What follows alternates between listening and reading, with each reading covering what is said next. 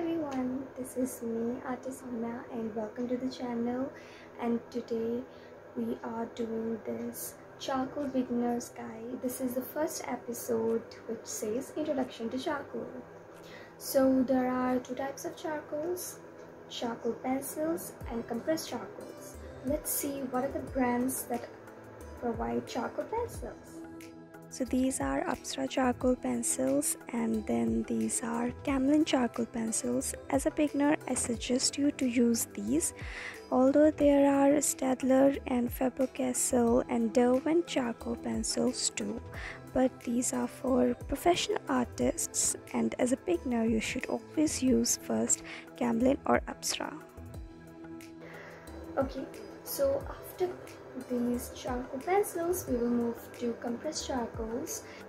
Let me tell you the brands that provide you compressed charcoals. So these are Faber-Castell compressed charcoal sticks and then Camlin charcoal sticks.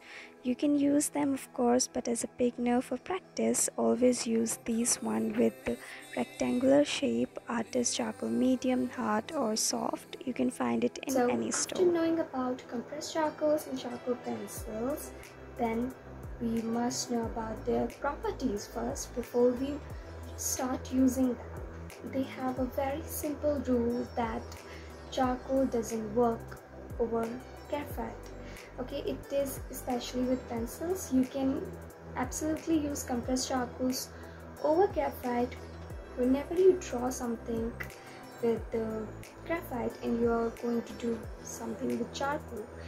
Please rub it off before using charcoal because charcoal doesn't work over graphite.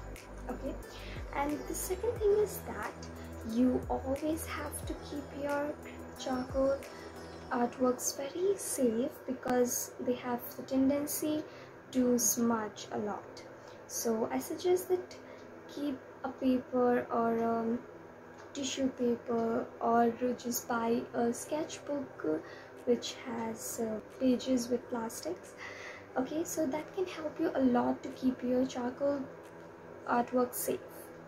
So there these are few things that you need to understand and keep in mind. So in the next video we will be learning about the tones of charcoal pencil.